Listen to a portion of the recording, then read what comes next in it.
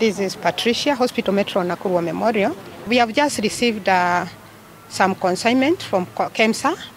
We normally get support from the government on uh, ARVs because we have a, CCC, that is Comprehensive Care Clinic here in uh, War Memorial, which is free.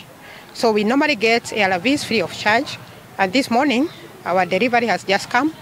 And uh, unfortunately, I'm not able to get it inside just because orders from above have it that I can't access the stamp.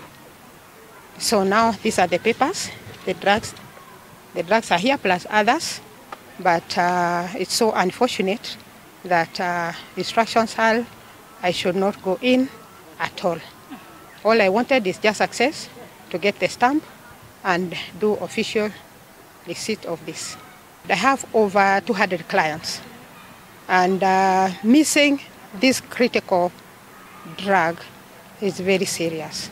I feel so sad because even if I go in today and I don't have these drugs, then it means somebody today is going to miss his or her ARVs. Person who has brought uh, the drugs to us, officially it has to be received. And the official way is to put my signature and the stamp. He cannot go back without a stamp.